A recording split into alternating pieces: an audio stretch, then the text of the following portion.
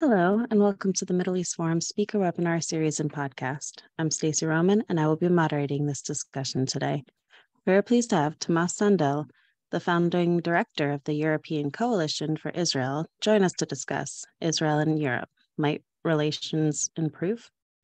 Mr. Sandell will speak for 15 minutes and open it up for questions. Should you wish to ask a question, please use the Q&A box located at the bottom of your screen to type your question. And with that, I'll turn the discussion over to Mr. Tomas Sandell.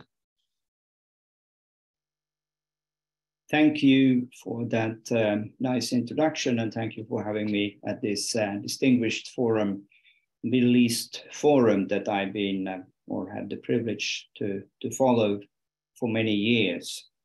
Uh, just um, last week, I think it was, I had the privilege of um, listening to Caroline Glick uh, speaking on what she called a special bond between the United States and um, Israel. And um, perhaps um, this was the uh, inspiration for me to try to look it from uh, to look at it from my angle, Europe and Israel.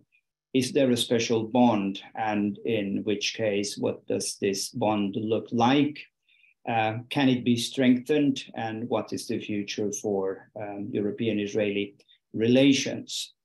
Um, let me also say that European Coalition for Israel is um, a grassroots uh, movement. We are not a think tank. Uh, I'm not an, primarily an academic, but um, an activist, um, diplomatic advisor for uh, some or 20 years, which gives me, I believe, a unique insight into uh, European Israeli relations and how this have uh, these relations have developed and changed over the years.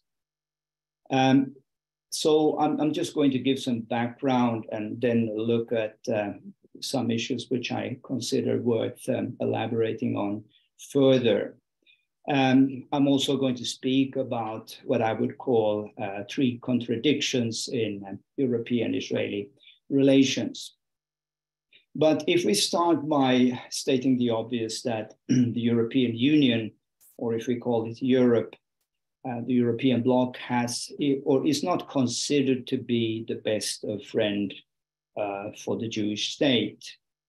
Um, I don't think this is so much open for debate as a matter of fact. Uh, if we look at uh, voting patterns in the United Nations, if we look at uh, EU-Israeli relations over the last uh, 50 years, it's fair to say that um, that Europe has, uh, at least historically, had a, a clear uh, pro-Palestinian stance. Uh, that doesn't mean that there is not sympathy or an understanding for, for Israel in, in Europe, but uh, by and large, uh, one can say that whereas the United States has been a, a solid partner, Europe has been less so. And um, therefore, it might be interesting to note that this was not always the case, and also to, to ask the question when was uh, European position on, on the Middle East conflict uh, first uh, formulated and how did this common position come about?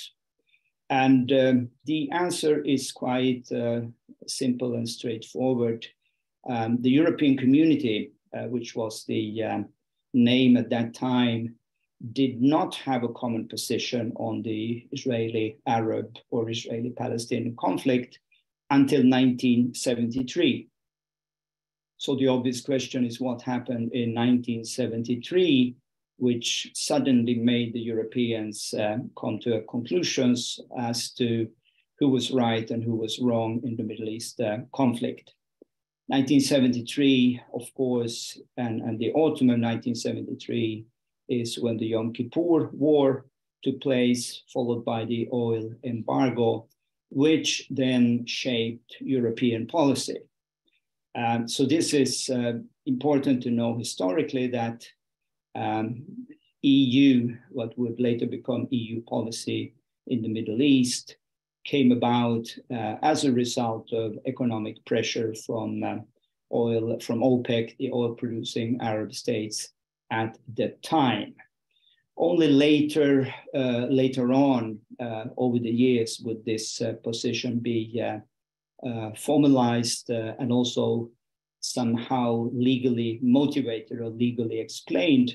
But it's it's crystal clear that when um, it first was presented, there were no legal implications, or there was not even any time of, of having an in-depth um, analysis of um, international law in, into the Israeli Palestinian conflict, but the uh, deciding factor was something very different. Looking at today, of course, uh, decisions related to, to the conflict are made in what we call the European Council, consisting of foreign ministers of the 27 member states. And um, here also to generalize, you can say that Europe has its um, traditional friends um, in Europe. Uh, it also has traditional uh, enemies. Uh, a simple way to, to define who is who, and, and maybe this will be more time in the Q&A session, is to say that those countries in the, in the Central and Eastern uh, Europe who have lived under a totalitarian regime uh, are more likely to be pro-Israel than the traditional uh, Western um, democracies. Uh, immigration, mass immigration is also a very important factor in this uh, case. Um, one can also say that when we look at the uh, political institutions, be it on a national level or or a European level that there is a clear political divide. Um, Center-right political parties, by and large, in the European Parliament, in national parliaments, tend to be more pro-Israel, whereas uh, progressive left, uh, the Green, with the exception of, of, important exception of Germany, I should say, tend to be more favorable towards the Palestinian uh, case. I mentioned three contradictions just to give some uh, uh, context. Um, historically, there is a saying there would be no Europe without the Jews, but equally true is the fact that there would be no um, Israel without Europe. This is in many ways a contradiction that the Zionist idea was first presented in Europe in cities like uh, London, Basel, and, and San Remo, Italy, in that order. Um, and and uh, this is where, or, or Europe was the, the, center of Jewish life uh, until the uh, Second World War. Uh, but Europe, sadly, is equally um, known for being the what some call the largest graveyard the largest Jewish, uh, Jewish uh, graveyard in the world. And uh, we just have to, to mention words like uh, the Crusades, Inquisition, pogroms, and, and of course the Shoah, uh, places like Auschwitz and Theresienstadt and Dachau to, um, to get the full picture of the uh, contradiction in, in Europe as it relates to Jewish life. Uh, second contradiction, uh, perhaps, is the fact that Europe and uh, Israel has never been closer in terms of trade and, and uh, cooperation in general terms.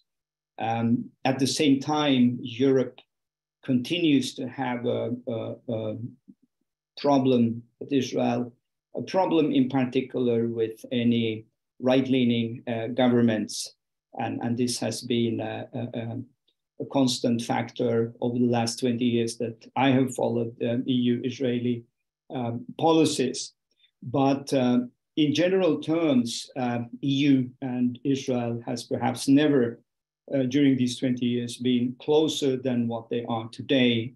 And that can be measured in, in uh, terms of um, um trade and, and uh, cooperation. The um, EU Israel uh, Council agreement, Association Council agreement, was just renewed a few months ago. And this is perhaps the best uh, um, sign that uh, things are actually moving in the right direction. Um, the third contradiction that for me is still a contradiction is that, um, this is to, to uh, say something really in honor of the European Union and uh, more concretely so the European Commission is today the world leader in combating anti-Semitism. And, and it, it's thanks to the European Commission that the IHRA working definition on anti-Semitism has been spread so um, successfully throughout the world. It's been pioneered and championed by, by the European Commission.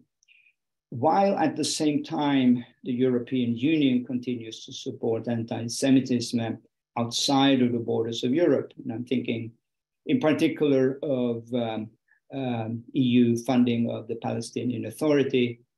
EU is today the largest um, um, institutional funder of the Palestinian Authority. And uh, as we know, um, this is where the real problem is with the uh, incitement to hatred, with the um, um, institutionalized anti Semitism in Palestinian textbooks, and uh, many other very problematic uh, policies of the Palestinian authorities. Uh, pay for slay policy, just to mention one, that um, convicted murder or terrorist can make five time or, or, can have five times as high of a salary as a Palestinian teacher. And um, given EU's role in, in funding and, and sustaining the Palestinian Authority, uh, which makes the PA more or less a protectorate, uh, this is um, inexcusable. Um, but looking at um, if anything has changed, what, what is happening that could uh, change this course? Uh, am I optimistic myself or pessimistic?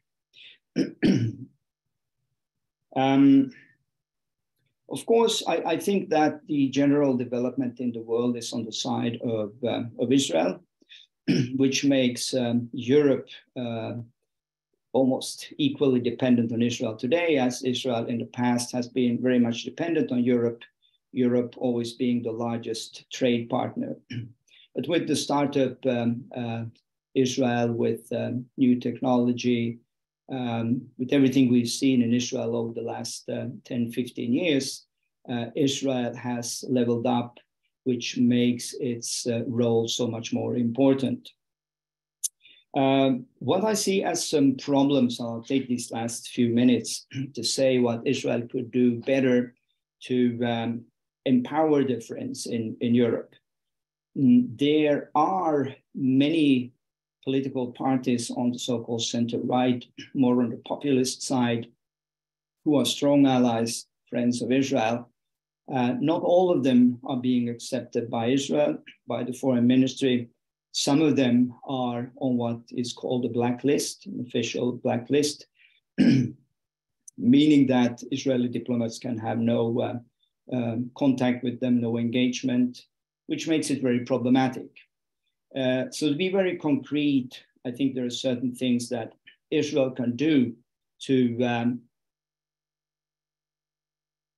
solidify the situation in, in Europe and, and just um, not shoot itself in, in the foot. I know this is a complicated uh, discussion in the Jewish community. Where do you draw the line? What are the red lines as to a political party which is not acceptable as, um, as a friend of Israel? But I think that uh, there are reasons to reevaluate where those lines should be drawn. And I think there are good historical examples where many uh, respectable parties today are in the uh, have a, a, past of being very anti-Israel, very anti-Jewish, and I think there are almost few exceptions in Europe where this would not be the case. Um, so um, um, this is something that I hope the new government will look into because we cannot have a situation where those who want to be, be supportive of, of Israel but do not necessarily tick all the boxes uh, on a scale of intersectionality uh, can somehow be uh, sidestepped or sidelined. Um, Israel has uh, many friends in Israel, um, but um, it's also important that we uh, don't isolate uh, some of closest allies. So to give you a very concrete example, there was one um, particular government in, in Western Europe who recently got a new government.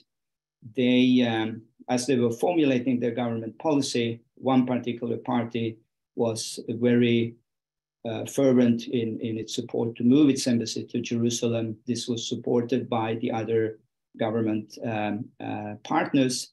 But at the end, um, this particular uh, party was, was on the blacklist of, um, of the Israeli Foreign Ministry, which made it very complicated and difficult for them to push this line. Um, in conclusion, if Israel would have been a little bit more um, um, attentive to these signs, we could have had a, um, perhaps the first uh, Western European government to go ahead with an embassy move. So um, uh, the friends are there. Uh, there's a good potential for even better relations. But uh, as the old saying goes, it takes uh, two to tango. I think I used my 15, 16 minutes. I better stop here. Wonderful. Thank you so much. We have quite a few questions coming in. Larry Greenberg asks Can it be argued that Europe needs Israel more than the reverse? Technology, natural gas, confrontation with Islamists of all stripes. Is, uh, is the EU's anti Semitism just lip service? Yeah, so um, it, it's true. And what I was trying to say is that um, traditionally it has been the reverse. Europe has been uh, very dependent on, uh, sorry, Israel has been very dependent on, on Israel. And, and again, having Europe as its largest trade partner, uh, the uh, relations have been asymmetrical. Uh, but today, and quickly so, this is what is happening.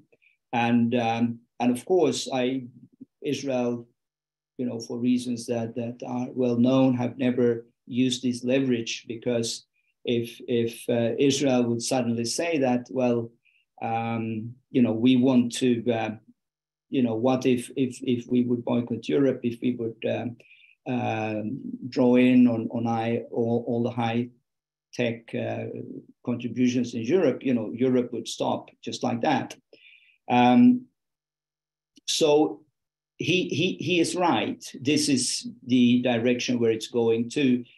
What I could mention also is that it's a very well known fact that um, intelligence uh, and security uh, cooperation has been very, very intense for, for a long period. But this is usually done um, undercover and, and, something which is not spoken about publicly.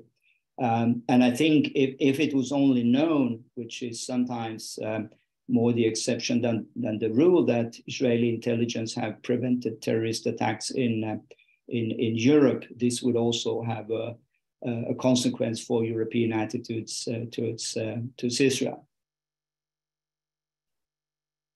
Wonderful, thank you. Carrie Hillebrand asks, why can't or won't Israel do a better job of exposing the true ugly face of the Palestinian Authority, uh, incitement in Arabic media, corruption, pay for slay, etc.? Yeah, that's um, that's that's an interesting question. I um,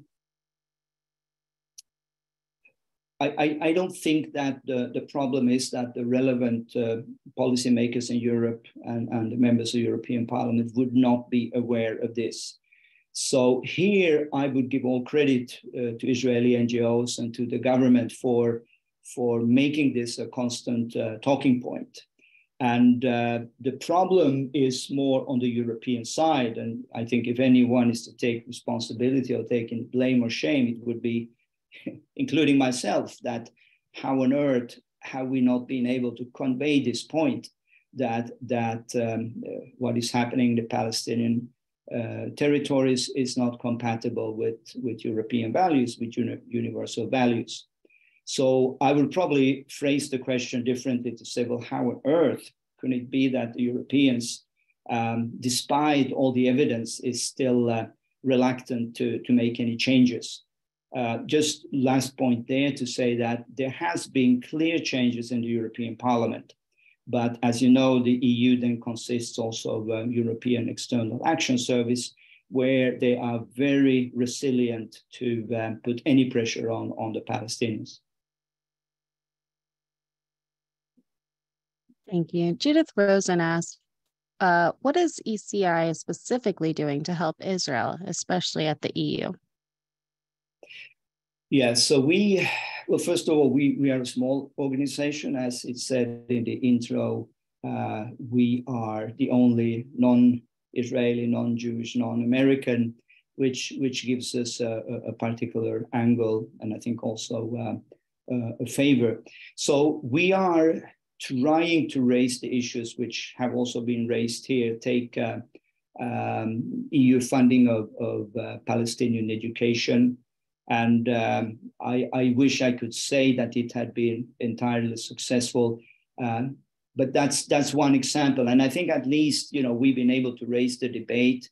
The European Parliament has all the, the hard facts and have based on this they have been able to freeze um, Palestinian funding. We, um, um, at the moment, we are putting a lot of emphasis on the Abraham Accords, something I didn't mention in this you know, brief statement, uh, which I think can be a real game changer. Uh, when we celebrate, will celebrate our 20th anniversary uh, in March, uh, this will be the theme. And I think again, um, for you, for anyone to to have to pick sides and and say, are we in the camp of peace or a normalization and cooperation, or, or do we remain in the camp of antagonism and conflict and war? Um, Israel has a has its best, perhaps best ever uh, card of triumph to to uh, to use in this debate, and and this is something that we are that we are doing. If I would go case by case, what we have done over the 20 years, I think we would need a little bit more time. But um, any anyone who's interested can also go to our to our website. Wonderful, thank you. And following up on that, uh, how exactly has the Abraham Accords uh, changed the relationships between Israel and the European Union? Yeah, so so when I say that the Abraham Accords is a game changer, uh, I meant generally speaking. Uh, the truth of the matter is that Europe has been quite uh, slow and, and resilient uh, uh, to, to, uh, to join this process of normalization.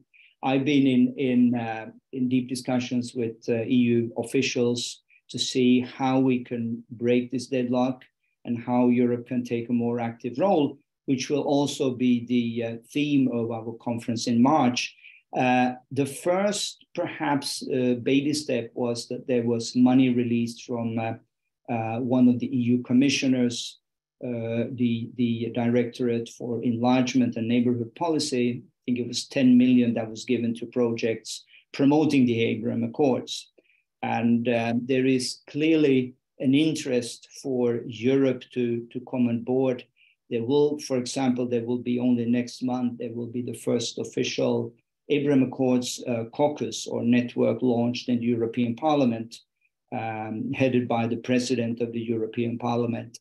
So um, Europe is slowly but surely uh, waking up to this. And, and I know that the policy from the European side is to see how Europe really, in a way, could uh, um, promote uh, cooperations between you know, the signatories of the Abraham Accords in Israel. But, and this is important, they would of course like to include the Palestinians much more. And, and I think that's a, that's a reasonable and that's a good uh, uh, angle also for the Europeans to, to get involved. All right, thank you. Uh, Robert Slater asked, how has the war in Ukraine made things better or worse? Or has the war in Ukraine made things better or worse? or no effect on the EU Israel relations? Yeah, I, I, think the answer is yes and no. Um, to some to some extent, it's it's very clear that uh, uh, in the current situation, Europe is looking for stable partners and allies, and there could be no better partner for for Europe than than Israel. Also in a, in a, in a broader geopolitical context. And, you know, we could talk about energy security uh, at length, and this is, of course, uh, one of the effects of the war. You know, where will Europe find um, its energy sources when, when we are no longer willing to, to trade with the Russians? Um, but also, on the other hand, there is, of course, I wouldn't say this is a dominant uh, uh, feeling in, in Brussels, but nevertheless, you hear it from time to time. You know, uh, wouldn't it be right of Israel to be more clearly on the side of um, this uh, European US uh, camp?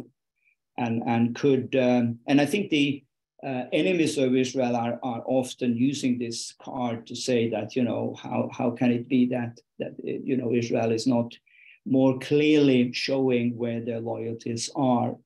So that's what I meant when I said yes and no. It's a double-edged uh, sword, um, and and um, maybe just one minute. One one thing that I wanted to mention because mention before, and it's it's um, part of this question is also Israel's very problematic relations with Poland, and and you know that Poland is is one of the key uh, nations in the European uh, Union today. And, and, sadly, these relations have been uh, really falling apart uh, over the last few years. And, and um, here, I think Israel could do more proactively to try to mend those relations. Uh, because again, Poland is taking a huge responsibility in this war with, with Ukraine. And, and if I would have any advice to the new foreign minister, that would be to prioritize relations with, uh, with Poland. Thank you so much. James uh, asks If the PA depends on the EU for, fin- for its financial lifeline, why doesn't the EU use this leverage to demand change in the PA school textbooks? uh, and in the PA's continuous torrent of anti-Semitism, such as because the the EU is just not uh, comprehending. Yeah, that's that's that's a good question. It's also a very embarrassing question, you know, for for any European, because it's it's exactly through what he um, what he um, insinuate. Uh, the way the responsible EU officials would would look at it is is the following uh, they say that they don't want to. Um, um, I, I, think it's some form of colonialism. It's like we don't really uh, treat them like we would treat our own people. And they said, well, you know, if we tell them this, you know, they will be upset with us and they'll run away and they'll they don't like us anymore. They don't want to play with us anymore. And I hear this time and time again. Um, it's not that when you speak one on one that they would disagree with you as to whether there are problems in Palestinian textbooks. It's more the approach to say, well, you know, how can we how, how can we rectify this? We shouldn't be too tough. Uh, we shouldn't use uh, conditionality. Uh, but here I would disagree, and I would agree with, uh, with the gentleman who posed the question. Thank you so much. Uh, quite a few of our viewers would like to know which European nation you were referring to that was on the blacklist, if you're able to say. If not, that's okay. Well, let, us what, what I did say was that um, there was a, so on the blacklist are political parties, uh, so not nations. And um, uh, it's even more complex than that. And it means that some parties can be on the blacklist in the national capital, whereas they are okay in Brussels in the European Parliament uh, context. Um, but I, I better sort of keep it for the time being. I think in a private private email exchange, I, I, I could uh, reveal more. But th- this was just an illustration how how um, how Israel can shoot itself in the, in the foot. I have raised this personally with the Israeli Foreign Ministry. And, and I will continue to do so because I think there needs to be changes made.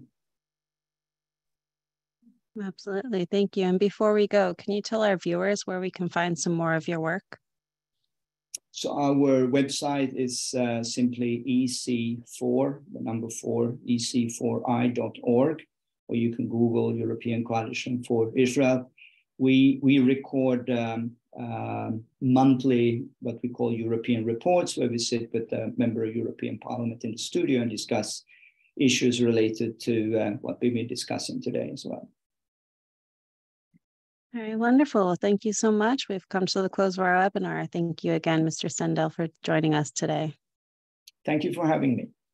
Of course. And for our viewers, please join us Wednesday at 3 p.m. Eastern for an update with Ashley Perry. Thank you all for joining us, and I hope you have a wonderful day.